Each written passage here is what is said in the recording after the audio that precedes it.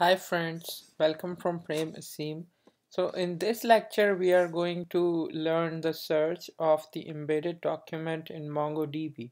So I have a sample record which has the address field. Inside the address field we have street or zip code and then inside the grades we have like the array of grades. So in short we have an embedded document of a hotel. So we want to search a hotel which has the address field with zip code of this. So how to do that? So it's super simple.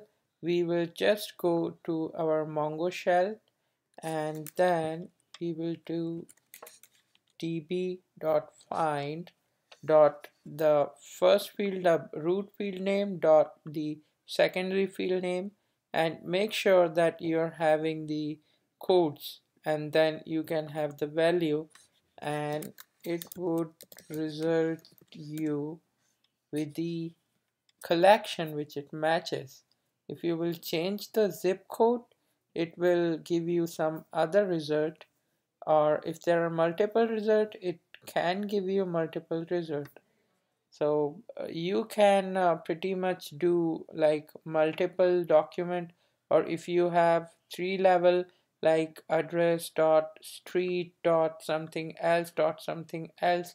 So there is no limit you can do that and it would do a find so let us try to change this thing and try to find something some different zip code. So we are going to change the zip code and see. So we got multiple results this time. So this is how uh, embedded document uh, stuff works. It can work on any level. So it's just the find thing the normal find thing. Just you have to use a dot to achieve the results of the embedded search Thanks for watching.